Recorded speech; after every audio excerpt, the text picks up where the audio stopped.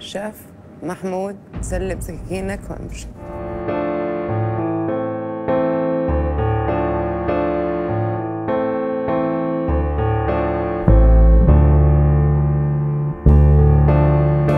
هلا أنا اليوم انتهى مشواري بمطبخ توب شيف.